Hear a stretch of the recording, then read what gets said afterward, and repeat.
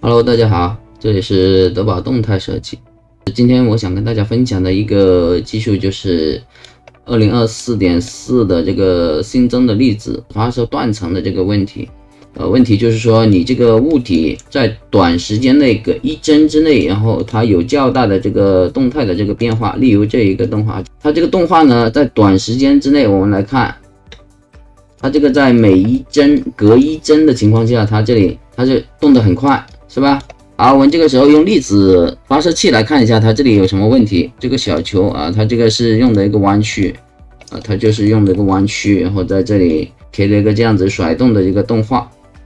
好，我们来看一下这个粒子断层怎么解决。然后先看看它会先有什么问题。我们先来看一下。然后我们是希望这个粒子是在这个球上面去发射。发射器的这个类型，那么首选肯定就是呃网格发射器了。好，我们这个时候把这个几何体，就是这个球放进来。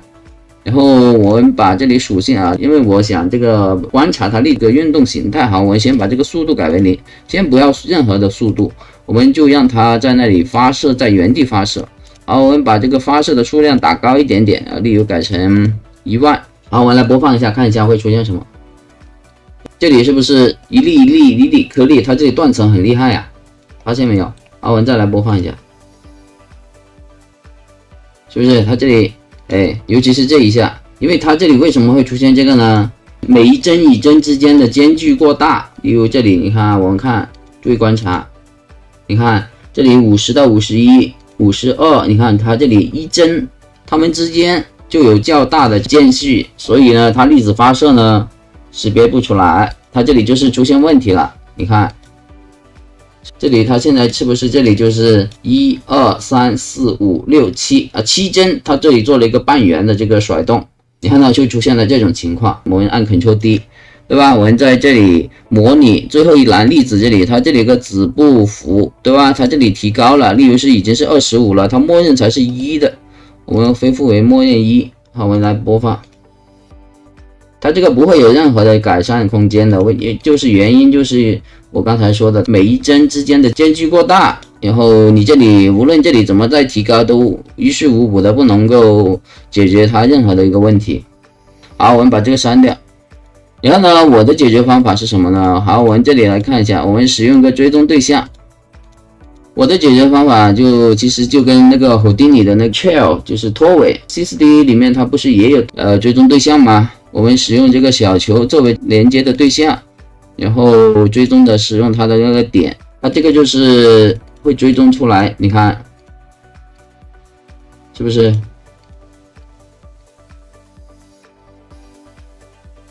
这个甩动，我们持续的去追踪它，但是它追踪的时间很短啊，我们就是总共就是两帧嘛，我们就是追踪两帧，这个问题不大。好，我们这个使用这个样条发射器，然后样条发射器，我们这个几何体就是使用这个追踪对象。我们注意啊，我们使用这个模式是点。好，我们这个属性这里面先把这个速度先不要先，好，我让它甩动一下。这个时候，我们的这个粒子是不是就不会出现这个断层了？是不是？它现在是不是没有断层了？它现在是不是没有断层？这个我们首先先确认下来，是不是没有断层？给它一个揣流，再放到粒子组里面，强度改一改，然后我们再调整一下，我们把这个强度跟这个大小也再调整一下。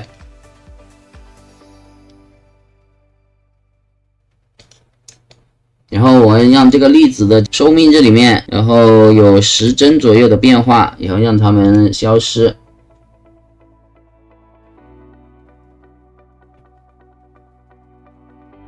然后我们再给它进行一些颜色映射，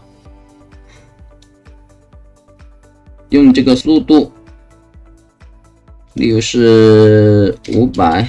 改一改这个色彩啊，例如我们呃用个五颜六色彩虹色，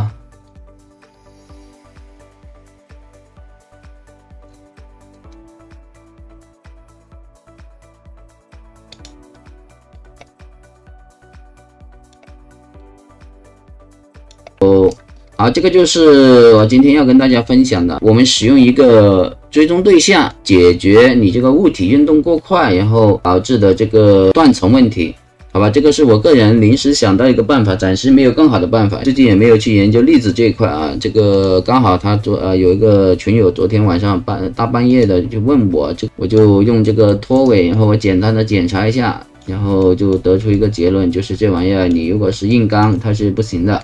使用一个取巧的方法去解决这种问题，呃，应用到你这个项目里面啊，你可能是一个人物或者是动物啊，这些每个对应的这个场景、对应的这个物体啊、呃情况啊，都会有所不同，但是总体的思路应该就是大差不差，都是可以解决这种问题的啊。